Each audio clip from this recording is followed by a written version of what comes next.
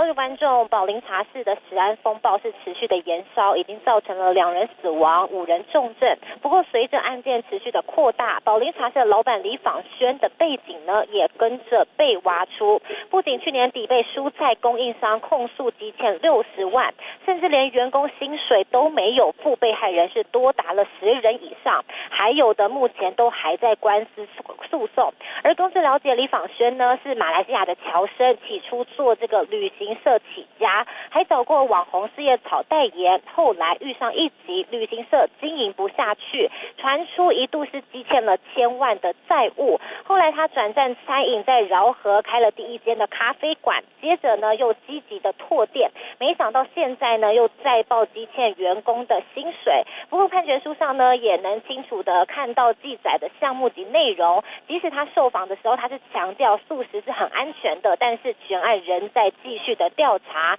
而在事件爆发之后呢，今天早上跟下午都有传出厂商和被欠钱的民众去到宝林茶室的总部要来讨钱。稍早北市劳工局也有前往总部询问，疑似要了解这个公司的营运状况。北市府法务部局呢在五点也约谈他去说明，如果没有到将会开罚三万元。